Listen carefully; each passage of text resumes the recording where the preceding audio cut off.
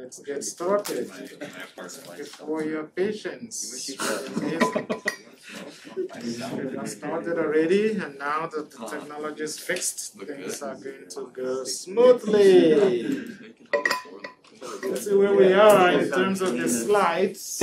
So we have motivated on the board already the Schrodinger equation. Now the thing I didn't write on the board is I wrote E instead of H. What's the difference? Anybody? That's the Hamiltonian, and it's the Hamiltonian operator. Yeah, you see, you get to the little mode, and then you get the operator named after you. So the Hamiltonian operator is T, the kinetic energy, plus V, the potential energy. So it really specifies energy in this case. So energy is more general, but the Hamiltonian operator um, gives the energy as the sum of kinetic and potential energy. So we can, for our purposes, interchange H and E. Is that okay? When we are dealing with just mechanical energy. So here we are. And for your homework two due today, we are, I already answered questions. Quiz two graded and returned, right? And then homework one graded. So check. We'll do more workouts on the board and I pointed out some resources in the syllabus where you can consult for extra mathematical details to polish your tools. And when I say thank you, I really mean it there because I'm not taking things for granted. So far, this is going on really well. Okay, you are doing your part very well. Working together, I've seen many of you do the homework together. That's how to do it. That's how to do it. And you're coming to my office for help, and that's really that makes me very happy answering those questions. And you're participating fully in class, so you're making me enjoy teaching, and that's why I'm grateful. Yeah. You can see even in what we are doing so far, there's a lot of work achieved, especially when I look at your eyes. And in spite of the masks, a lot of smiles. So let's keep doing that, okay? Thank you. So for today, Schrodinger equation. The main idea is to take to look for a wave function that becomes a solution of the Schrodinger equation. A wave function that contains information that we want, information about the particle's dynamical variables such as position, momentum, etc. And we can actually start to build the Schrodinger equation from possibly good wave functions, which is what we did on the board, and I'll recap it really quickly so that we can go into some details from the book as well. So let's continue with the board and then back to the class exercise. All right. we already have part of it we started, but I'll do a very quick recap for record purposes when you watch the video in preparation for your exam. Yeah.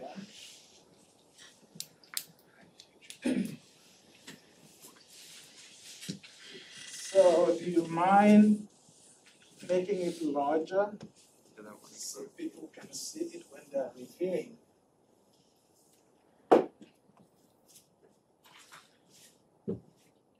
It? Yeah, it's okay. Oh, good. So I can determine where we are. And week, I wouldn't talk much. I will just put down what we just worked out together shortly, and then we can continue. Yes. So today is Schrodinger equation.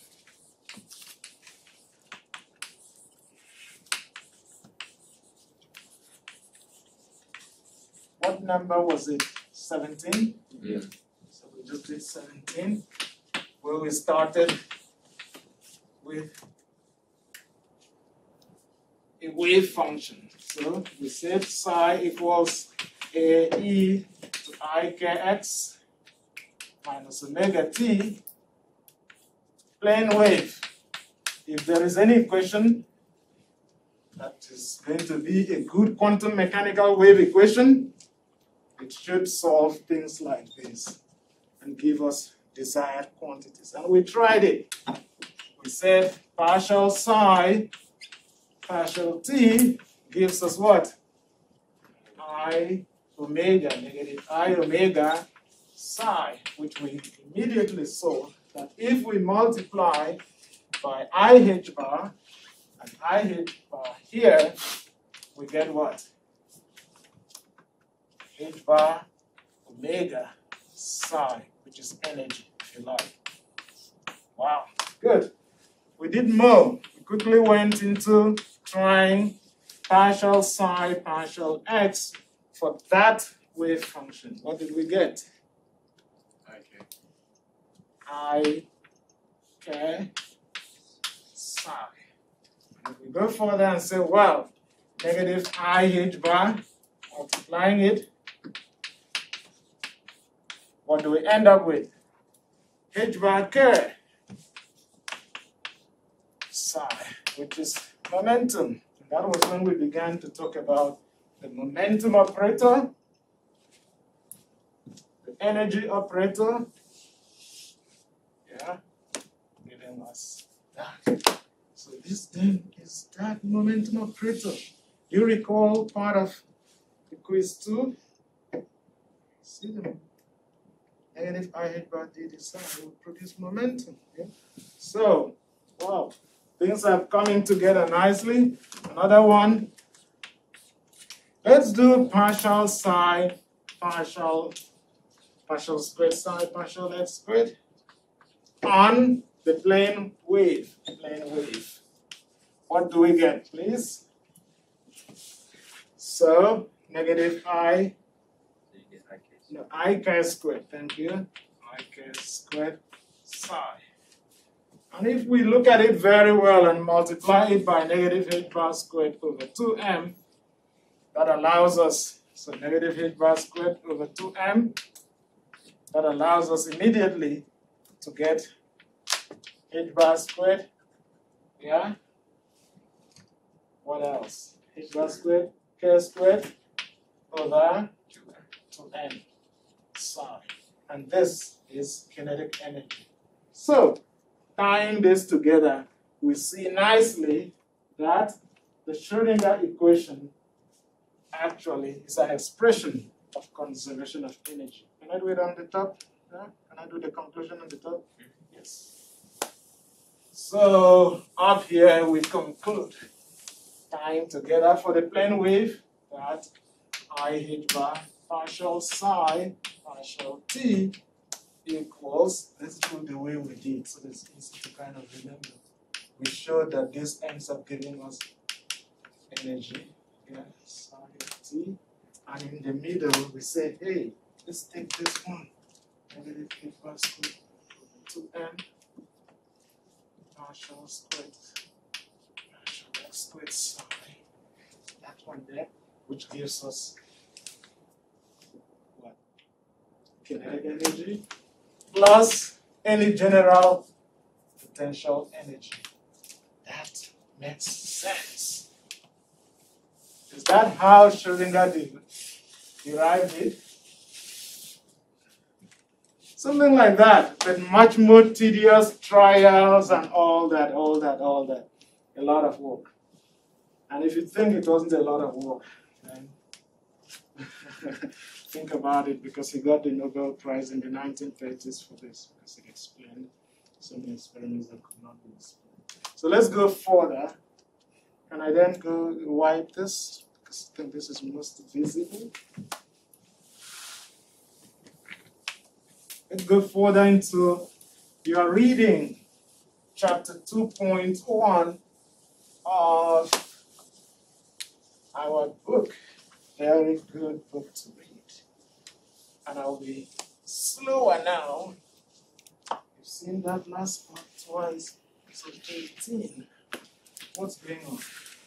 Our aim is to end up deriving or showing the time dependent Schrodinger equation.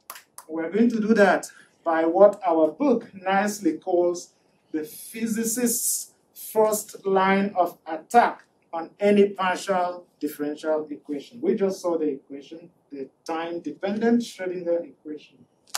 So our aim then is to use the method of separation of variables.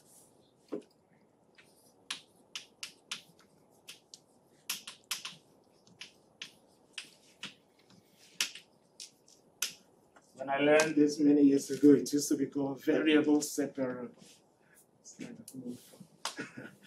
variable separable. Let's do variable separable. So this is first line of it. So what is it? It's going to be applied again on the time dependent Schrodinger equation. And for clarity, I keep writing it explicitly showing both the time dependence and the position dependence. So negative h bar squared over 2m partial squared partial x squared psi of x plus v of x psi of x. Yes. What's going on then?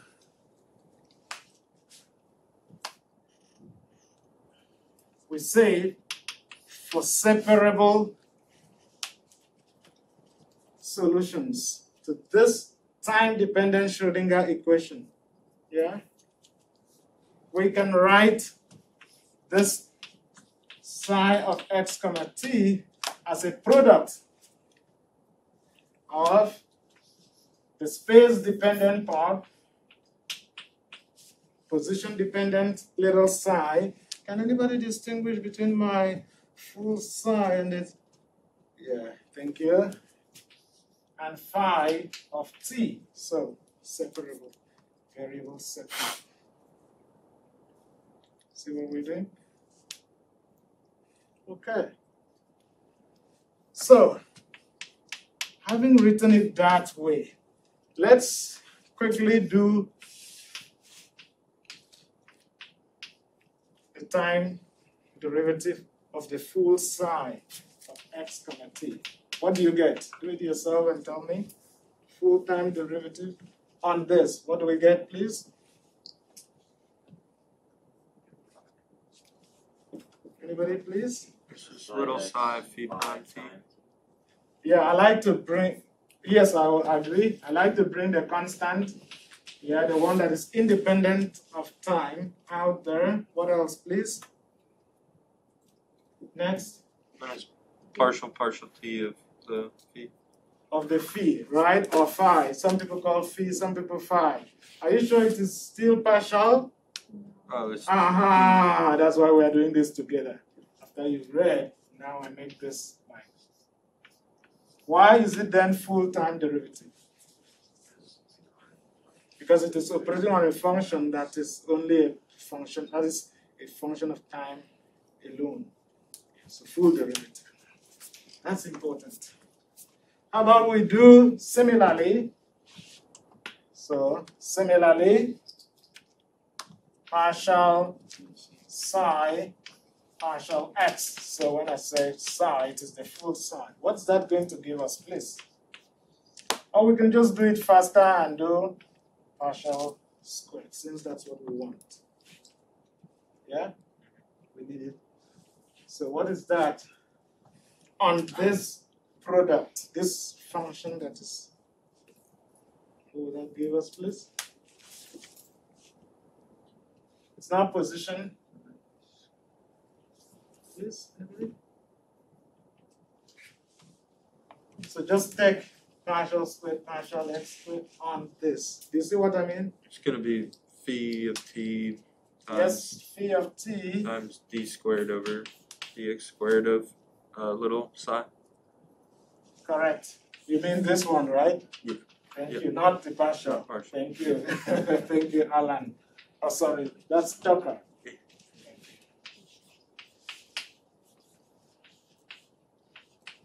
Yep. What is all this leading us to? We can now rewrite the Schrodinger equation in terms of this function, what we just did here. So let's do that.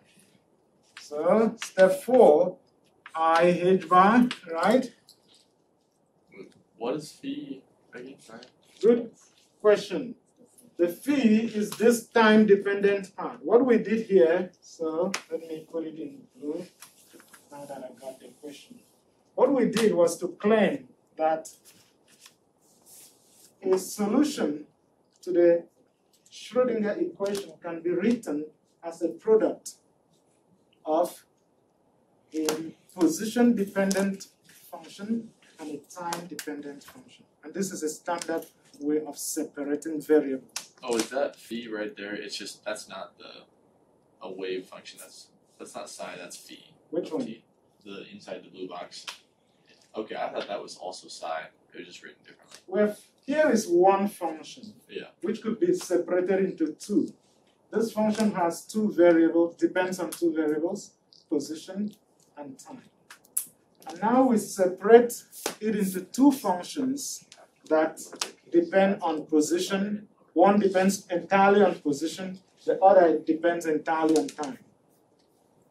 Good question. It makes the solution, or it makes handling the differential equation easier.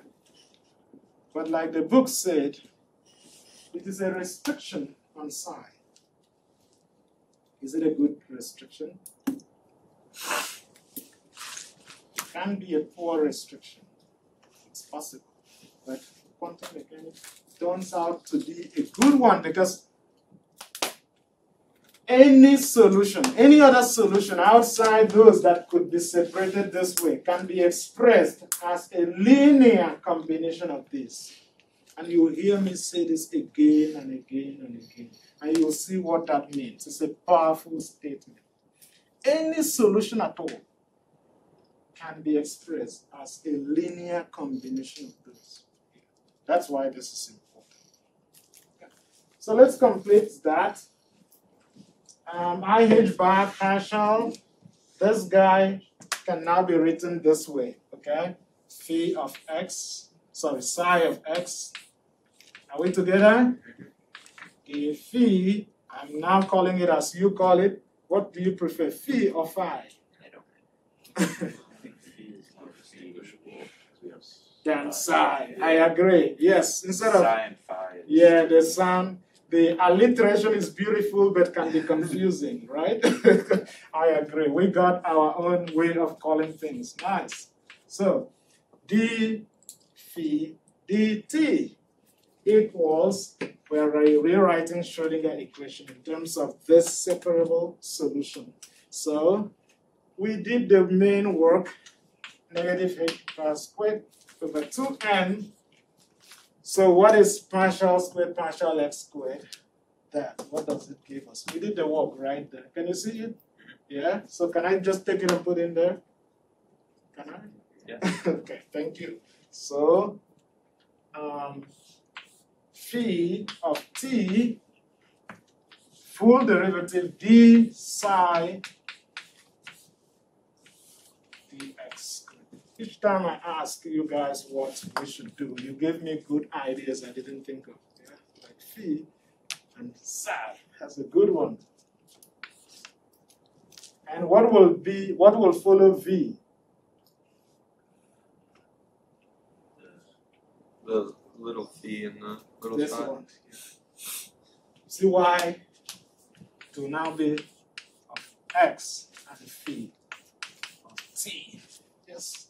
So we've rewritten it and we can complete the separation of variables by doing a few things to it. So you're going to do that quickly now. Divide for me, please, every term by the blue thing and tell me the, the, the result.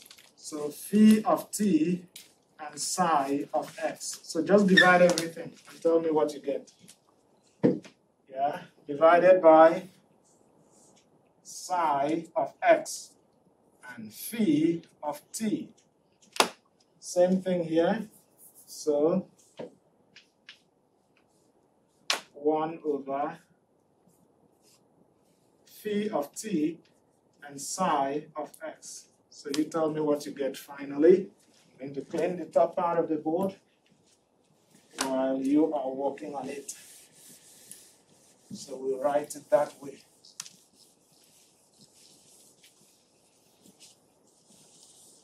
So what do you get? Our step 5, now that we've separated a little bit, we get IH bar. Anybody to tell me? So this one cancels. One over. You notice that we divided everything, every term by the wave function. And you'll soon see why. Are we together, please? All right. So what do you get for the first term? Dividing by the You get one over phi one over phi, thank you, of t times d phi dt. d phi dt. d phi of t. t. Good. And that should be equal to, yeah, I can actually clean that because I need more space. That should be equal to what, please? Over here,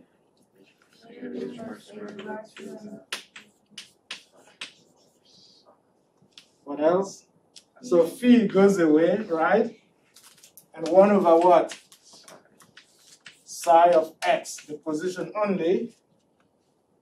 And what else, please? So d squared psi of x only dx squared plus what, please? V. Plus v. Thank you. Wow.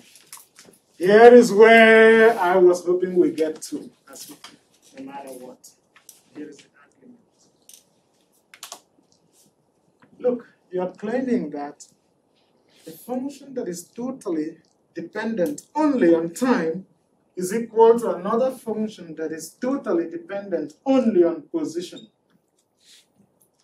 And we agree we should, we are correct in how we got here.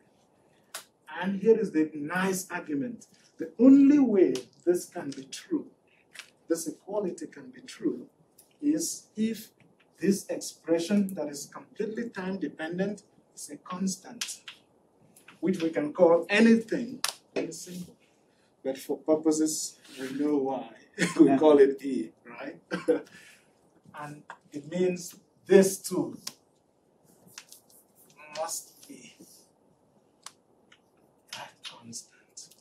And the only to make that possible, we make V only a function of position. Let's pause to think of what that means. Or to answer questions if you have any.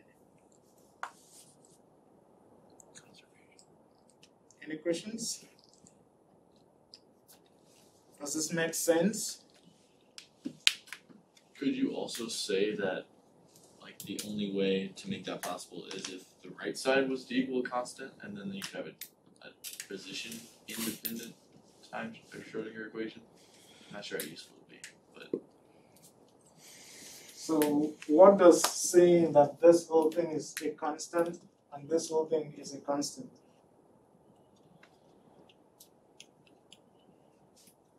I'm not sure. So You are this this is a constant. Oh, they're both Yeah. Okay. Gotcha. You got it now. Yeah. So the book said the left side, the only way the left side is equal to the right side in that equation, please what did you? Thank you. The only way this is equal to this is if this is a constant and that is a constant. Does that make sense? Yes. So the book said, and I decided to write it a bit differently. Yeah. This is a constant, this is a constant. Yeah. Good. So your question is good because claiming that each is a constant just means E is our letter for this constant. How about we make it F? it's also a constant, right? But then there is an equality. E equals F, right? So we can put E. Are we okay now? Yes. So E. So to keep things simple because they are. Why this argument makes perfect sense is that listen, if we change time, this guy on the left can be changing, right? Because it's a function of time. But if this equality is to hold, which we should, then this guy must also be changing at the same rate. And for that to happen, it means this whole thing is a constant. It's not changing in time, whatever you're doing overall. And this whole thing is a constant, not changing in time. Because they are independent variables. It's a good argument. And so it allows us to arrive at the time independent Schrodinger equation. Do you see that this is the time independent Schrodinger equation? If we just multiply.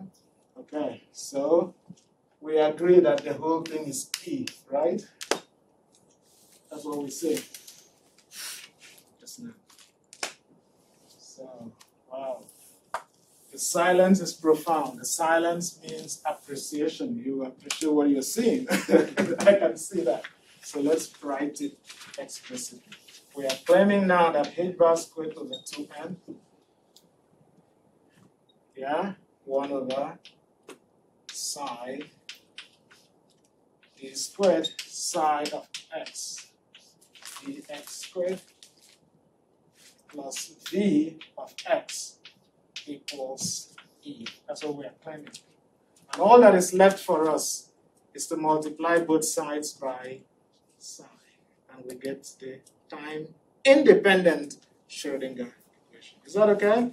So we multiply by psi and this guy goes away. Can you see that? Good.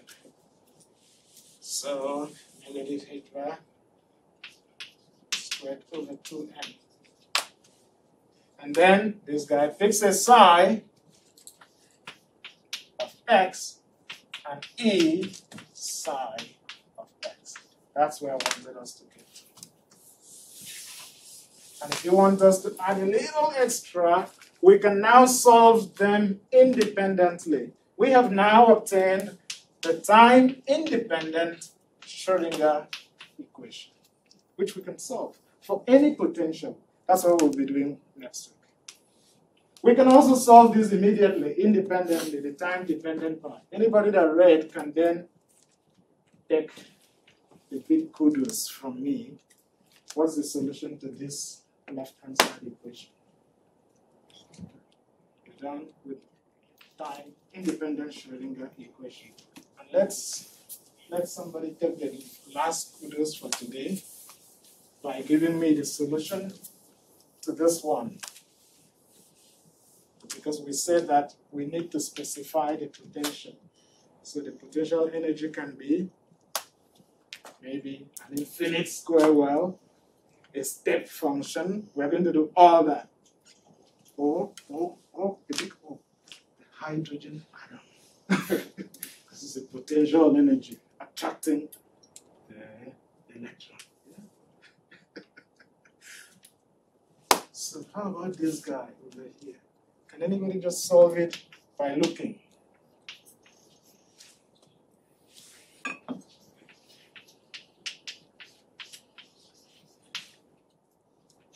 Equals B.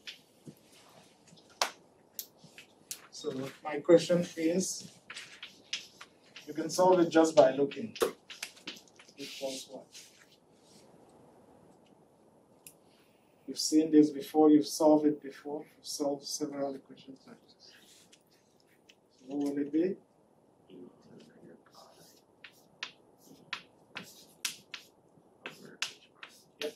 That's it. Easy. Because all it takes is multiply this over there, right? And you've got d phi dt equals itself there. Yeah? So it's an exponential function. The energy goes over h bar, yeah? which is the same as e to the negative i omega t. Yeah? Because omega is e over h bar. Yep. In fact, that allows us, since I'm getting so much attention from you guys, I mean, let's say that what we expressed this way as psi of x and phi of t then becomes whatever we find by solving the time the independent Schrodinger equation, and we tag on this guy, the phase factor. We put over the time dependence there. Wow, that's what we'll be doing for the next two or three weeks. The full solution, we put the time dependence in that phase factor. And for this joke of it, who remembers what the book calls this? The funny thing that somebody gave that factor, that phase factor. It's actually a footnote in our book.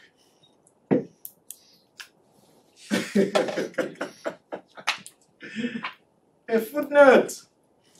Anybody? I'm giving it now. See? Oh, the wiggle. The wiggle factor. Oh, Yes. One minute break for that. the wiggle factor. yeah. Factor. So back to the slides, please. Thank you, Joey. The wiggle factor. So Joey got then the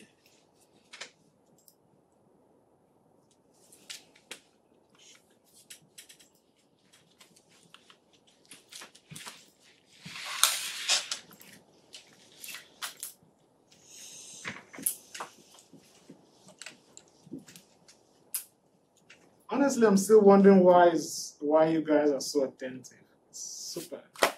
Can you tell me your secret so that I can reproduce it in another class? What's the secret? You guys are just good. yeah, so keep it up. So let's do this exercise gently together, okay? You see what we have? What will that expression be? Integral, okay, one over square root of two pi, right? Integral g of k, yeah? something like this. So, ah, okay. So do the same thing we did on the board, partial psi, partial t of our psi, full psi. Yeah, go for it. Right. Are you tired a little bit?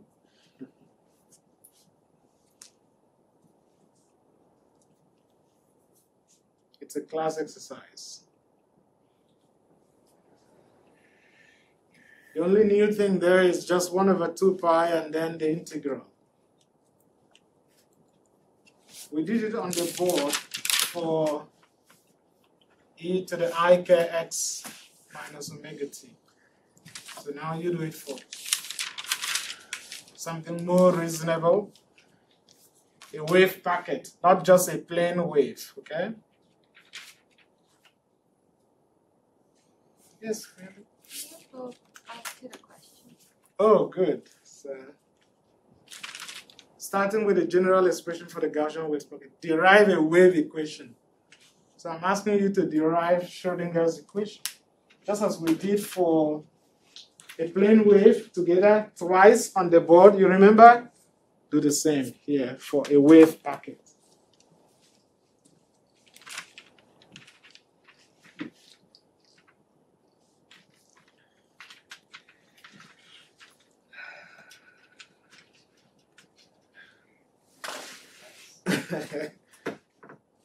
Work together, please. There's no way to send it. Yes.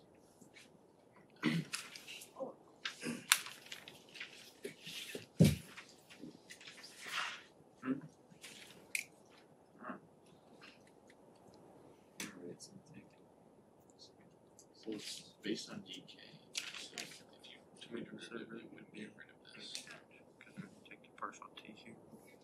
This should be the next i omega alpha. How are you doing? Just negative i omega. Just trying to remember, do you have a Wave negative I? function. Yeah, that's what I was thinking. Yeah. So is this- Yes, it's there. What? You don't think of the cheap I don't know. Well, I'm pretty sure. Oh, sorry. No, it's talk about it. That's when, after you have taken the. So it's just Yeah. the. How do you take a derivative of a function like this if this whole thing is the wave? I don't Well, understand. Do you have how what you- with the? DK, don't. So the decay, yes, the care part doesn't matter. Because you're not taking a derivative of either thing with regards to cash. So Okay. those are Yes. just like the And then constant. wave function. Side, which is just. Partial psi, partial you take the t derivative, will all only it does is just operate on anything that contains t. out front. That's what we did on the board, yeah. Taking the partial, oh, wait, never mind. Yeah, you got it. So when you take the partial first derivative derivative, of so like Yeah, that, partial partial t, and then I'll go to Psi partial or partial whatever. x. um, then like you can Uh, move that, derivative. like, partial derivative inside the So- integral and it will be like just like, Regular derivative. well, of just. When you right. Yes, and it will only pick out the stuff So with time, it so it will only be take this. negative i omega, which is what Or we did did you with the just- other one, that But then you was, just have like the took one the over derivative square times you right on there. there too. yeah. Okay. Or that- Kinda. because It will just repeat the wave function again, Everything Yeah, I'm else this inside of the integral and then just, yeah. yeah, Is that how you're yes. This is why we're But- doing this, good. How you guys doing, you're done, Just don't add this onto your answer sheet. you're almost done, Okay. good, Well, it's how multiplied it it, so- here, please? Should still be Good. the answer because it's just a constant time. Mm-hmm. So it will be the answer. Okay, that's what I Well, thought. it'll Sure. Yeah, this is, so what will this, yeah, this is good, this is correct. Yeah. Notice that if you then multiply this by IH bar, you then get your energy. Yes. How you doing? Good, I'm still just working through, uh, the wave function as a Yes. function of time. Mhm, Yes, keep going. Yeah, I'm doing the same thing. Sure, sure, keep going, we've got time. Yeah. I haven't got there. Are you? I mean, either. The- Oh, it was the integral. Yeah. Good question, so you will, this is, I wish I had your handwriting. Yeah, So this is because this, in the this isn't a function of k. So I pull just pulled it out because in the integral negative of i second. and you've kept everything. So if we, if I don't know what. That's why you can say that wrote this proof, what you did now. I think you just equal leave the to integral there. This function times no, i I think they're all negative just. i. Why would So there's no side again, never mind. I'm just saying. Good, I know it good. doesn't Yeah. matter. People are doing well. Yeah, sorry. Multiply both sides by. You still have to learn that. You can't just get rid of the Well, the negative pi. Yeah, you're just following the same. Oh, oh, that's. So it essentially doesn't keeping it change as an what's actually happening with it, but all that changes is your functions with regards to energy, momentum, and uh, kinetic energy just have scaling factors on them. Yes, Okay. that's the whole thing about, that's So what the equation helps you do. It Now helps you work on a wave function this. that can Yeah, contain We're So that's basically just negative i variables. omega Look at times times psi. spit it out to you. Psi is that. That's That's how to derive that equation. Alright, so I've seen that you guys are doing well, see what you got? That's what you got, right? Uh, yeah. Yeah? Yeah. You then only had this pulled out and you repeated the wave function. And if we now multiply this by IH bar, what do we get? We get omega H bar. We get energy. Yeah. So it's a good wave function, just like our plane wave. The Gaussian wave packet will work. Are you getting it now? It's a good. So we're now trying the Schrodinger equation on various wave functions that we know something about such that if it gets more complicated, we can trust that the Schrodinger equation will spit out the correct wave function. Any further question? Okay, so let's do the next part. Something we did on the board, but I wanted you to apply it to the Gaussian wave packet and see that it is another good one. So Yeah, all it does You wanna is go back to the. almost the exact same thing. Yes, Okay, Did up here. that's so weird. it's it's not as bad as you thought, right? No, not at all. It's just, it's just like I would not have thought it was that like the same thing. So. Yes, But it is doing it on these ideal wave functions that we know something about. Yeah. And if it does what we expect it to do and spits out energy, spits out momentum, then maybe the weird, the real stuff you are looking for, it will do the right thing. Yes. And the real stuff you are looking for, let's end the class there. The real stuff you are looking for is something like psi equals a e to negative r over a. What might that be? Wave function for hydrogen atom. Does that make sense? It is producing expected results for stuff we know and might produce expected results for wave functions we do not know much about. Let me see the time. We have two more minutes.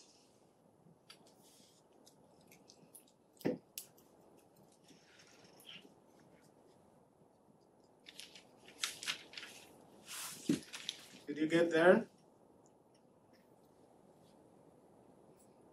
So this is a good expression for a free particle, a particle that is not in any external potential energy. So a particle whose full energy, h bar omega, total energy is just there. It's just there. Can anybody complete it for me? A free particle is a particle whose full energy is just there. Kinetic energy. Kinetic energy.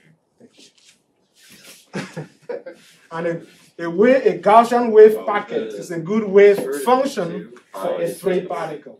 We explained that last time. Is it making sense?